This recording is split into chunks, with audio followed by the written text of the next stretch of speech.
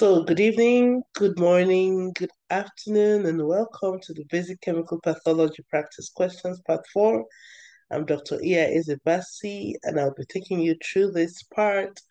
Um, this will deal with um, a little bit of intoxication and a lot of acid-base balance. So, it's technical, but it's going to be very interesting and hot.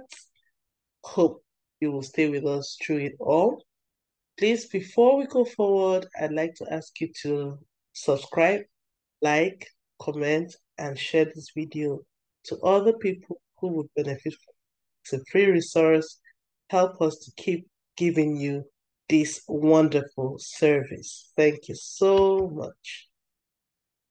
So question number one, which electrolyte is primarily found in cells and plays a key role in muscle and nerve function? That's so easy. It's potassium.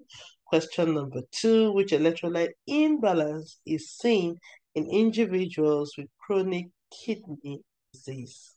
So that will be hyperkalemia because the body will not be able to get rid of potassium because of that problem. Question number three, what electrolyte imbalance is associated prolonged vomiting or gastric suctioning. When you're vomiting, you're losing a lot of HCl. So you know that what will be affected be chloride. So you have hypochloremia. Question number four, the normal range for serum potassium levels adults typically is 3.5 to 5.0 milliequivalents per liter, or that say millimoles per Okay. So question five, which electrolyte imbalance can lead to increased neuromuscular excitability and muscle cramps and spasms? We've done something similar in the other video. If you do remember, you will know it is hypocalcemia. Question number six, what electrolyte imbalance is often seen in individuals malabsorption disorders or chronic alcoholism? We have hyponatremia, hypernatremia, hypomagnesemia, hypermagnesemia. Go with hypomagnesemia. Question number seven. What condition occurs when there is an excess of acid in body weight? So you are going to have an excess of acid. So that means you are going to have acidosis. All right. Then an excess of bicarbonate, you will have alkalosis. So the answer to this is acidosis. Question number eight. Respiratory alkalosis is characterized by an increased pH, okay, and a decreased PCO2 because respiratory alkalosis is caused by hyperventilation. All right. Question number nine. Which of the following conditions can lead to hypokalemic acidosis? Usually acidosis should be followed by hyperkalemia, but in this case, you have an acidosis that is characterized with hypokalemia. So the condition that can lead to this is diarrhea. All right, question number 10. Which of the following conditions can lead to hypochloremic alkalosis? All right. In vomiting, you lose a lot of acids as well as chloride. So you would have alkalosis and you will have low chloride levels. So excessive vomiting is your answer. Question number 11. In respiratory acidosis, the body retains too much carbon dioxide, oxygen, hydrogen ions, bicarbonate ions. Your answer will be carbon dioxide because in respiratory acidosis is caused by situations that do not allow a person to ventilate. So have accumulation of carbon dioxide and accumulation of hydrogen and the uh, accumulation of acids. All right.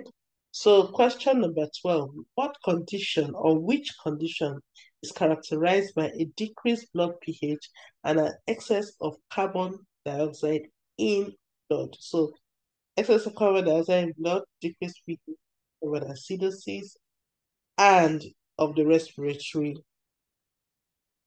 um, respiratory genesis. Let's put it that way, for want of a better word.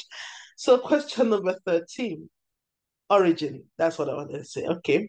So question number 13, what is the primary compensatory mechanism for metabolic acidosis? All right. That will be hyperventilation. If you do have metabolic acidosis, your primary compensatory mechanism will be have to be a respiratory way. So in this case, you're trying to get rid of acid, so you're going to have hyperventilation. All right. Chronic kidney disease can lead to which type of acid-base imbalance? It's a metabolic disease, so we are going to have metabolic acidosis. Question number 15. Which of the following conditions can lead to respiratory alkalosis. Respiratory alkalosis occurs when you hyperventilate, when you shout too much, you're hysteric, any condition that makes you to hyperventilate. All right. So that would anxiety or panic attacks, which are usually accompanied by hysteria, shouting, screaming, hyperventilation. All right. Question number 16. Which electrolyte imbalance is commonly associated with metabolic acidosis? You have hyperkalemia, hypokalemia, hypercalcemia, hypocalcemia. I've explained this before. So our answer will be hyperkalemia, except for the acidosis that comes with diarrhea. That particular acidosis is hypokalemic acidosis. All right, question number 17. In metabolic alkalosis, there's an excess of bicarbonate ions. All right. So, question number 18. Which of the following conditions can lead to metabolic alkalosis? Metabolic alkalosis, you're losing hydrogen ions or you're gaining bicarbonates. So let's look. Diarrhea, you're losing bicarbonate. Nope. Renal failure, can't get rid of acids. Excessive antacid consumption. Yeah, you're actually either gaining bicarbonate or taking uh, substances that can generate uh, bicarbonate, then hyperventilation, no. So our answer will be antacid consumption. Question number 19. Which condition is characterized by increased blood pH all right, that's alkalosis and decreased PCO2 due to hyperventilation. All right, respiratory alkalosis is the answer. Question number 20. What is the primary compensatory mechanism for respiratory acidosis? I'll leave you to this. I told you if it's a respiratory origin, the primary compensatory mechanism will have to metabolic one and vice versa. So in this case, you are going to have increased urinary excretion of hydrogen ions and resorption of bicarbonate by the kidneys.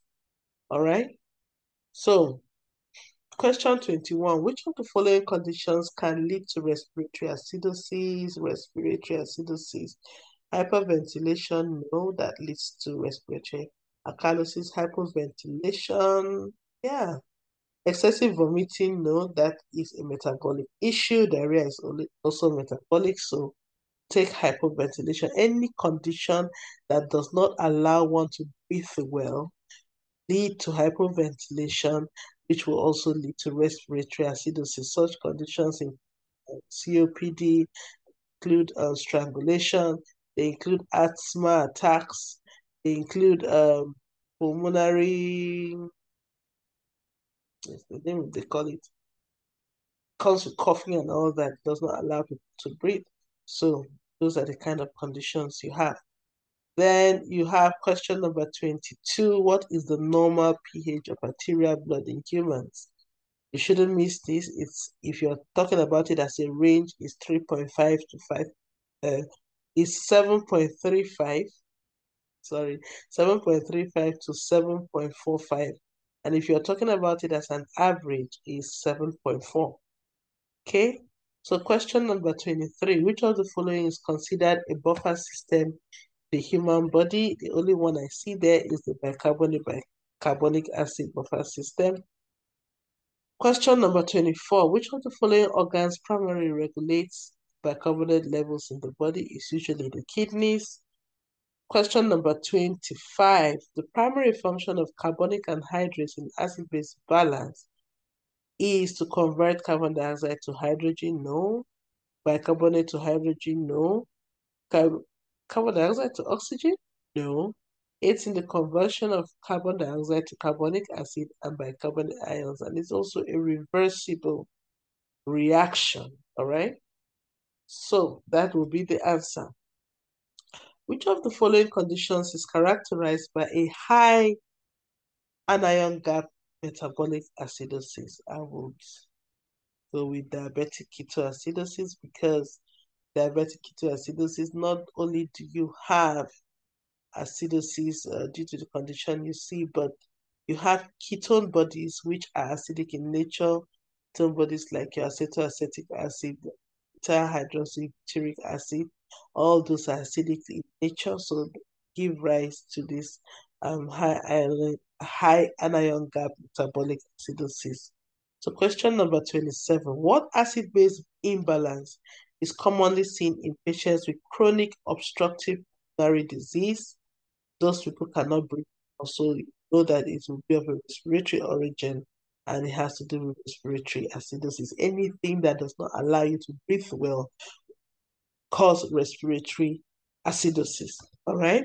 So question number 28. Before we continue, please check. Have you liked? If you haven't, please go and press that like button. Have you shared? If you haven't, please share it on your WhatsApp status. Have you commented? If you haven't, just give me a nice comment. If you don't have time, give me a smiley emoji. And if you have not even subscribed, please do subscribe. Thank you very much. So question number 28.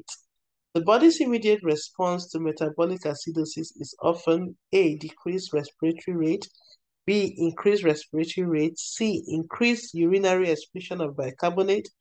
D. Decreased urinary excretion of bicarbonate. All right, so that's our answer. Question number 29. Which acid-base disorder results from overuse of salicylic acid? All right, you have A, metabolic acidosis and respiratory alkalosis. Metabolic alkalosis and respiratory alkalosis. C, metabolic alkalosis, D, respiratory alkalosis. I would go with metabolic acidosis and respiratory alkalosis. Why? First of all, if you take an overdose of salicylic acid that's like a acidic in nature, so you're going to have metabolic acidosis because uh, it's going to mop up a lot of the bicarbonate, you know. And then, funny enough, the salicylic acid also has a way of stimulating the respiratory center to hyperventilate. So you do have a mixed picture of acid-base disorder. It's not pure metabolic or respiratory disorder, but it's a mixed disorder. So you will have metabolic acidosis as well as respiratory alkalosis. Did the assignment, you should need to know that. So question number 30. Which of the following is a sign of respiratory acidosis? A. Hyperventilation. B. Hypertension.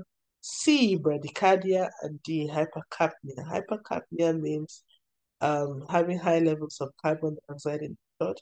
That is a sign of respiratory acidosis. So that is the answer, hyper. Thank you very much for staying with me to the end of this uh, practice session. I hope I'll see you one more time for the last of this. Thank you very much and God bless you.